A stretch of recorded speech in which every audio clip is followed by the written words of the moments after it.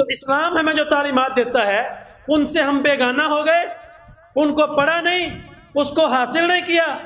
फिर लोगों ने हमारे सामने कॉन्सेप्ट क्या बनाया? इस मुहर्रम के आने का, इसके 10 10 20 20 दिन पहले हमारी पूरी फजा को सोगवार बना के पेश किया जाता है। हर चौक चौराहे में, हर गली बाज़ार में, हर ये जो रिक्शों वाले हैं, सत्यानाश, इन्होंने किया पूरे मुआरे का। इतना सारा रिक्शा उसके ऊपर इतना बड़ा डेक लगा के, ऊपर ऊँची आवाज़ से मरसिया लगा के हर बंदे को बावर करवाना चाहते हैं कि यह जो महीना आ रहा है, आपके इस्लामी कैलेंडर का, इस्लामी साल का पहला महीना, ये रोने पीटने का महीना है।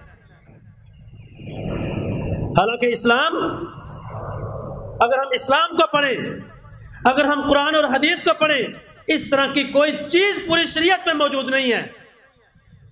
बल्कि इस्लाम इस मरसिया खानी को इस नोहागरी को, इस अपने ऊपर जुल्म करने के सारे अमल को कंडेम करता है, उसकी मजम्मत करता है। नबी करीम सलाम ने शाह फरमाया, जिसने अपने रुखसारों पे मारा, अपने गिरेबान फाड़े, अपनी छाती के ऊपर मारा, अपने ऊपर नुकसान किया, अपना जुल्म किया, वो हम में से है ही नहीं। और यहाँ पे इस्लाम के नाम पे इस मुहर्रम को, इस नोहा गरीब के ऊपर लगा दिया। पूरे महीने को रोने पीटने का महीना बना दिया। कोई पूछता भी नहीं। पूछेंगे कैसे? इस्लाम को अपना इस्लाम समझा ही नहीं, उसको पढ़ा ही नहीं। फिर लोगों ने जो नाकबत अंदेश किस्म के लोग थे, उन्होंने फिर इस महीने को ऐसा बना के हमारे सामने पेश किया कि मुहर्रम आ रहा है, आपने शादी नहीं करनी। वो अल्लाह के बंदो, शादी क्यों नहीं करनी? अल्लाह ने मना किया। मोहम्मद सलाम ने मना किया। क्यों रुके हो इससे? कोई नहीं बता पाएगा।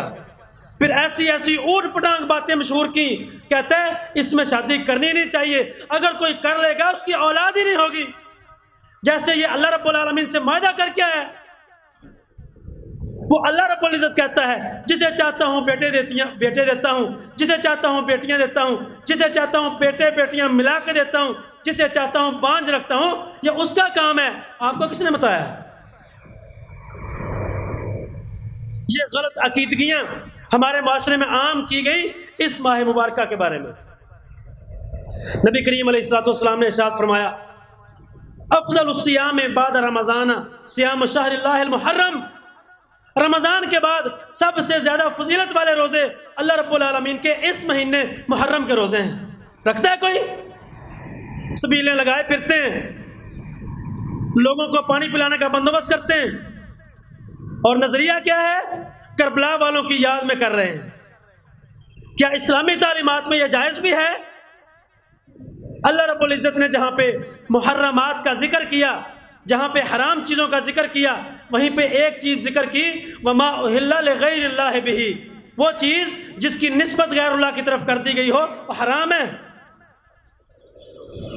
हमारे यहाँ पे पता ही नहीं इस्लाम कहता क्या है। अगर इस महीने का एहतराम चाहते हो, अगर इस महीने की कदर करना चाहते हो, अगर इस महीने को वाकई उस तरह से गुजारना चाहते हो, जिस तरह से परवरदगार ने फरमाया था, जिस तरह से मोहम्मद जीशान अलैहिस्सलाम ने बताया था, फिर इसमें रोज़े रखो। फिर इसमें लड़ाइयाँ झगड़े ना करो। फिर इसमें लोगों को नुकसान ना पहुंचाओ। उनके मालों को, उनकी इज्जतों, जानों को ना लूटो। वो कोई नहीं करेगा। ये एक हफ़्ता पहले की बात है।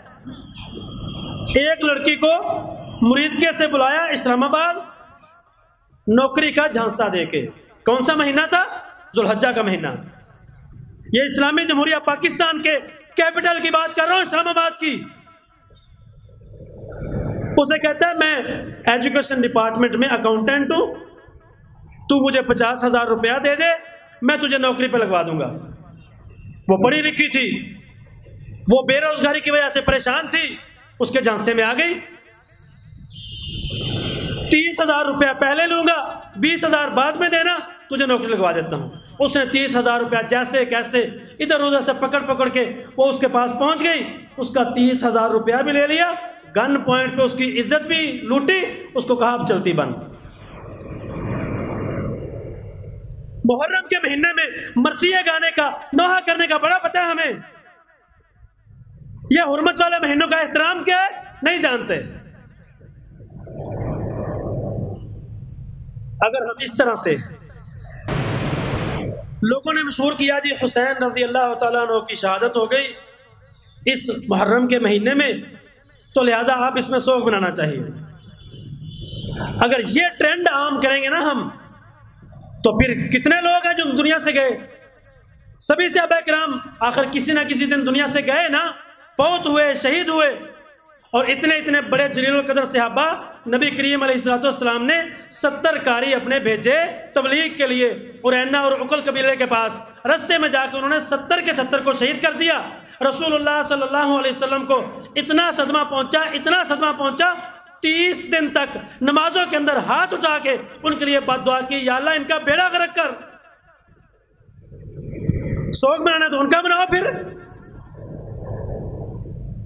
शोक मनाना है तो इसकी यकम तारीख को, इसी मुहर्रम की जो कल दिन गुजारा आपने। उमर खत्ताब रज़ी अल्लाह तु उमर इबन खत्ताब दुनिया से गए थे, उनका मनाओ उनका नाम लेने से तकलीफ़ होती है। उनका तस्करा कोई नहीं करेगा। क्यों? क्योंकि दीन हमारा ख्वाहिशात का दीन है। हमारा दीन कुरान सुन्नत का दीन नहीं। हम मेरा जो स्पेसिफिक तबका मुझे बताता है, मैं उसी के पीछे लगने वाला हूँ। मेरे मोहतरम भाइयों, ये फिरका वारियत, ये हमारी आपस में लड़ाइयाँ, झगड़े, ये अल्लाह की कसम ख़त्म तब होंगे जब हम कुरान हदीस को अपनाएँगे तो। और कुरान हदीस इस तरह के किसी काम का हुक्म नहीं देता जो हमारे माशरे में रवाज पा चुके हैं।